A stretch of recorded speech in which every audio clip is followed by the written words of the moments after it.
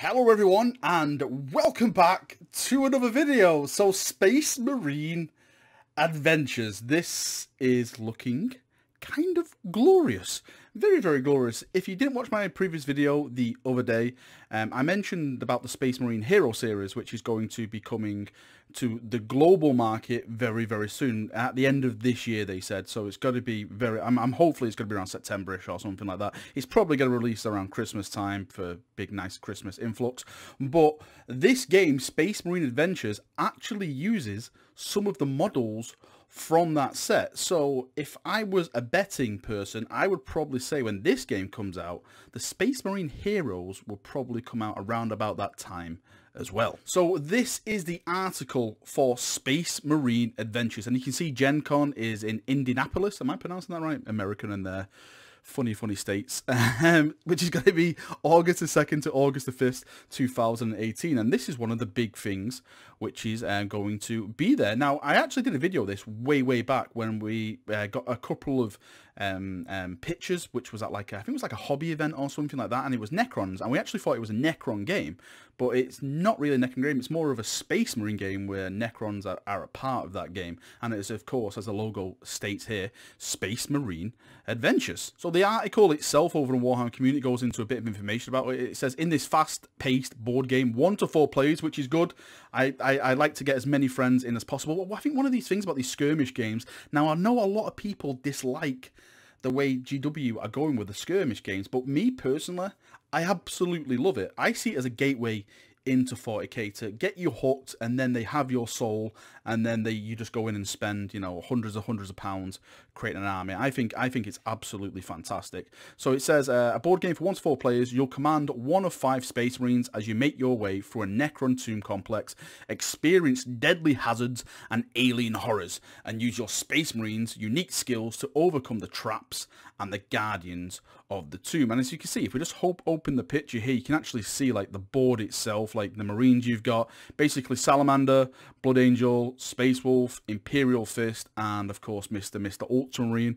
And you've got all the cards down here all your dice and that kind of stuff. It, do you know what it reminds me of? It reminds me of a kind of Shadespire is that the right word to use? 40k Shadespire um, I've never played Shadespire, so I, I, I, don't really know. I've just seen like what it looks like on the board, but that's what it, it, it that's the first thing that jumped into my head straight away when I saw this. So you've got the like the data cards down here and stuff with all the stats of your characters, which is fantastic. I call the Imperial Fist. If I'm ever going to meet up and play with you chaps like at Warhammer and stuff, I I technically call the Imperial Fist. He's mine and mine alone. You can't call that um, anymore. So it goes into more information about the actual models you get in the box, and this way it goes back to what I said before about the Space Marine Hero set. So the five push push fit plastic models are available in the US for the first time with this release. You may recognize them as part of the Japan exclusive Space Marine Heroes range. Each can be built without glue and comes in colored plastic along with a card describing their abilities, which we've just seen then. So again, um, it's basically like the, the the Japan exclusives. I know Series 2 launches very, very soon, um, where you get all the Terminators. I'm wondering if they've got our expansions for this, where you can jump in and um, you can play as Terminators and stuff like that. I think that would be incredible. You can you can really start to go anywhere with these board games. You know, you just release an expansion. This is a Terminator expansion and stuff like that, and it's not going to be really cost effective for you as the consumer. You just jump in, buy the models and a couple of cards, and off you go. So that's why I think these skirmish games are very, very awesome to bring new people in, and even even people like me who have you know spend hundreds and hundreds of pounds on models. It brings us into these environments as well, which is really, really cool. And this is the box down here. The box looks absolutely look at Labyrinth of the Necron, Space Marine Adventures. There we go, Ultramarine, Blood Angel, Space Wolf, Salamander, and of course the glorious Son of Dorn. Now, um, a little bit more information down here. It says you'll also find in the box no fewer than three double-sided game boards, so you can switch it around and stuff like that.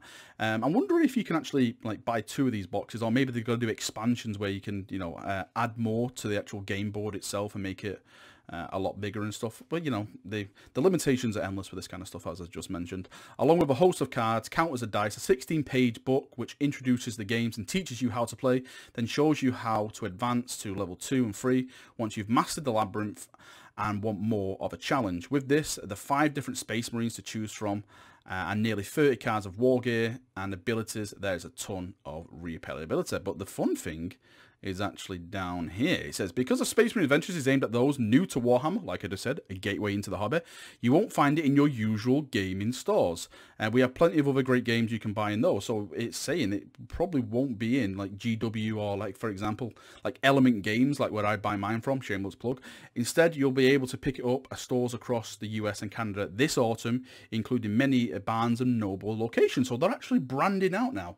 GW are going out there, getting into these big, big high streets like Barnes and Noble, these big consumer places, and putting their products on the shelf. So when people come in and go, huh, that looks pretty cool, I'll pick that up. Okay, what is this? Oh, it's Space Marines. Okay, I like this. I'm going to go buy some books of them. When, where do you get the books from? Barnes and Nobles. And next thing you know, you've like uh, sold your soul and you have like a 3,000 point Space Marine army and you're going, oh my holy Emperor of Mankind, what have I done? So this is marketing 101. It is absolutely smashing out the park. And if you go and read the financial statement in the video I put out the other day, GW are just they're just home running it at the moment. There's so much profit they're getting. They are absolutely just wrecking face. It's probably, I think they, they mentioned that it's the most profitable the company's ever been. So that goes to show you that this new social media they're all doing and the new marketing and this, this kind of product brand they're doing now is really earning them the cash and props to them. It really, really is a great system to uh, go with. Alright chaps, that's me done for another video. Go and check this article out for yourself over on the Warhammer community website. The link is in the description. I'm super excited. Hopefully it's going to be coming to the UK very, very soon. It only mentions the US for now, but I can see this being a global product. Of course, it will be eventually find its way to my mailbox, even if I have to pay some someone in the US to uh, deliver it to me. So um, yeah, thank you for watching the video. I hope we passed on this information. And great job, GW. The future is looking absolutely glorious. See you now and Bye-bye.